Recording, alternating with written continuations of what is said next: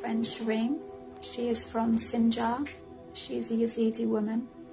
I'm sure you're familiar with that community. And she has some questions that she would like to put to you in terms of your involvement and why you did what you did. ليش التحق بداعش؟ ما عندي حد فقير إيه. ما عندي بسأل غايتي اني اريد فلوس انا بالنسبه لي آه عندك مثلا تقدير كمعدل لعدد الأشخاص اللي أنت قتلتهم؟ على يد ما يقارب هسه لما قتلتهم وذبحتهم ذبحتهم ما يقارب 900 إيش تقريبا 900.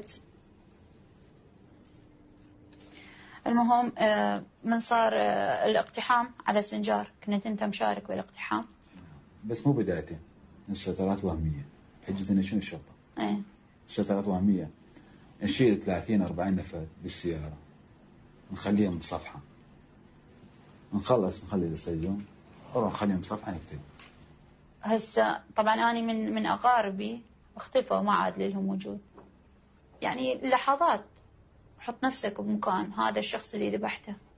شنو كان شعوره؟ شعره كان يقول لا تقتلني؟ ليش تقتلني؟ يا ذنب. يا ذنب تقتلني.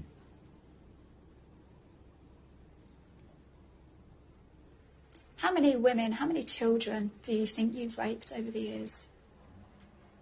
لهاي الفترة بقيت وياهم تقريبا يقارب ما يقارب تقريبا بال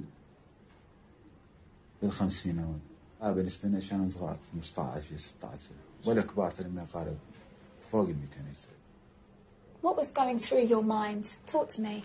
Tell me what you're thinking when these girls are screaming for you to stop and you don't, you continue.